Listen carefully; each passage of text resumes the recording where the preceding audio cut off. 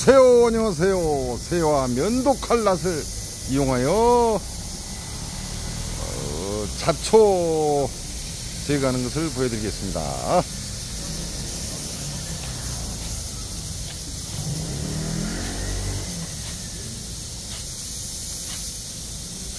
시원하게 잘 비워집니까? 아, 어 괜찮네요. 너무 뽀짝 베려 그러지 마시고요. 낫 음, 날라가니까 자세가 골프 자세인 것 같습니다.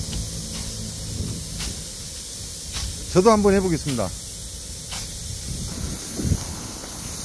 나무 주변에 기계를 가지고 작업하기가 어려워요. 그, 다 따듬으면서 스쳐내는 거죠. 그 나무 주변에 좀 닿았다. 그래가지고 다, 다 스쳐내는 뭐 많이 막 세게 쓰려고 그런 게 아니고요. 이런 것도 가볍게 내 촉으로 가볍게 안 되는 부분들을 잠깐 잠깐 스쳐내는 거죠. 스냅을 이용해서 쳐야 되겠죠. 스냅을 이용해서.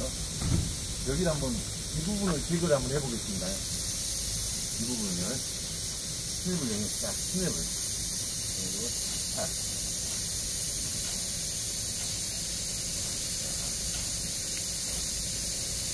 이렇게 해서 제거하는 방법을 쓰고 있습니다. 이 볼을 만든 건안 되겠죠.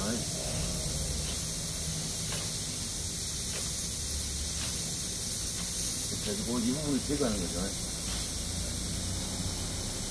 쳐가지고 다 제거해. 아주 그냥 부드럽게 잘 나가네.